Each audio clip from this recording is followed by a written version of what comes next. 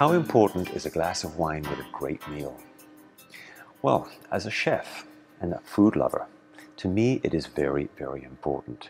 And if you think about it, food and wine has been going together for centuries. And when it comes to choosing a great wine to go with a delicious meal, choosing a wine from Niagara on the Lake could be a perfect fit. You can find wines that have wonderful robust flavors, a balance of acidity, deep complexity from older vines.